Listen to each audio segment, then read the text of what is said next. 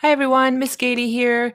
I'm going to go through the course expectations for the grade 9 math course.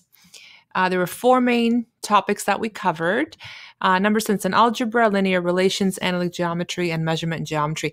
I'm going to go through each of these on the next four slides in a little bit more detail.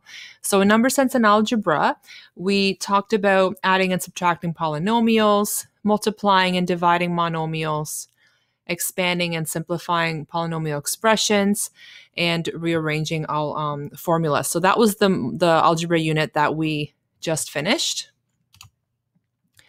Linear relations um, was the was the um, the unit where we collected data um, and then we used that data to construct tables of values and create graphs and then we added lines of best fit to those graphs and then we looked at different trends and potential relationships right so using interpolation to look within the data and extrapolation outside that data um, to make predictions and then we looked at um, the difference between partial and direct variation. So direct variation was um, if your line starts at zero, zero.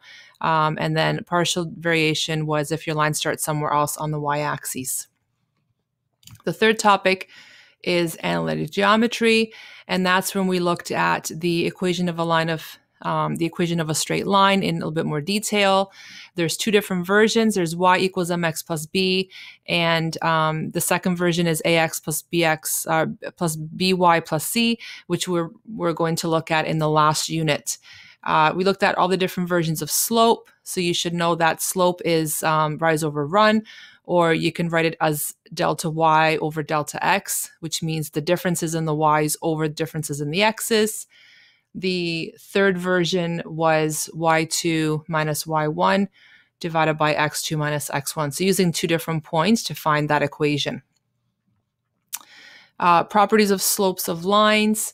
Uh, so is what, what is the direction of your of your line right is it going up to the right which means it's positive is it going down to the right which means it'd be a negative slope the, the uh, steepness of your of your line how steep is it um, and then parallelism and perpendicularity we haven't done yet. We'll take a look at that uh, in the next couple weeks. And then uh, you need to make sure that you know how to graph lines using slope and y-intercept or x and y-intercept, and then determine the equation of a line from all the different possibilities. So you could be given slope and y-intercept or slope and a point or even two points. And then describe the meaning of the slope and its y-intercept within within a word problem, explain the point of intersection of two lines in a word problem. So the point of um, intersection of two lines is is a topic that we haven't covered yet either. So we're, we're doing part two of this analytic geometry as our last unit in the course.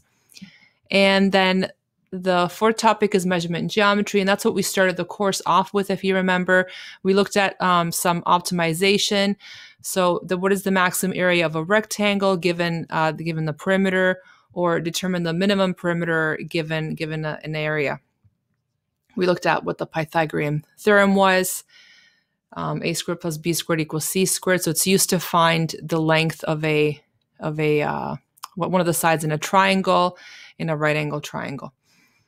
Uh, and then you might remember we did an experiment in class where we looked at um, what the volume of a, of a pyramid is in respect to a rectangular prism with the same base and the same height. So the volume of a pyramid is always a third volume of the rectangular prism.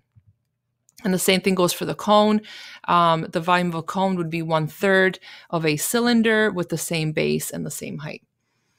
And then we also looked at um, some geometry of, of angles, um, the relationship between the interior and the exterior angles in triangles, quadrilaterals, and other polygons. And that was it. Those are the four main topics. So make sure that you touch on at least one of those when you are creating your passion project.